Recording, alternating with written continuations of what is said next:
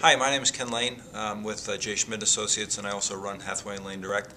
There's this uh, business adage that's been around for a long time that says, if nothing changes, nothing changes. Think about it. Nothing changes, nothing changes. The last 10 years of the, the business world, technology has, has dramatically changed everything. In fact, if your business hasn't changed, you're probably not around.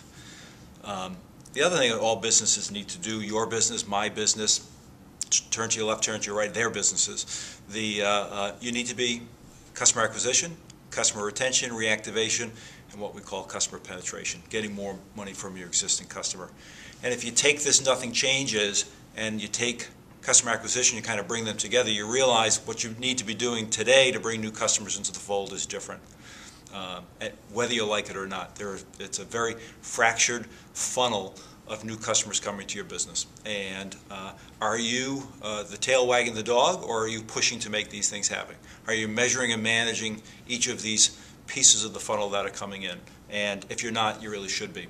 Uh, we did some business for a, uh, a, travel client a little while back whose business model was predominantly mailing uh, catalogs to their customers to drive the travel business. Now think about it. The travel business in the last 10 years, certainly since 9-11, up and down, up and down, up and down. And that's what's happened with their marketing budget as well.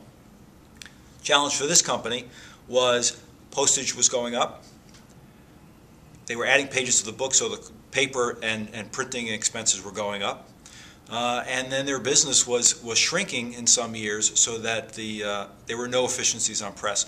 What happened to them without even realizing it was that the price of their contact to the customer had gone up by 80%. And they hadn't changed their business, right? Nothing changes, nothing changes.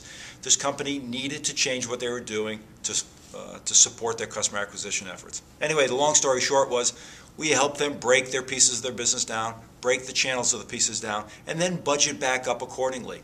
If I need to be generating X amount of business through email, then I'm going to I'm going to fund it accordingly. Pay per click, et cetera, et cetera, et cetera.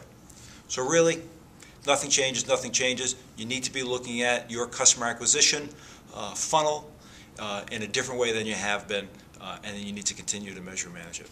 Thank you.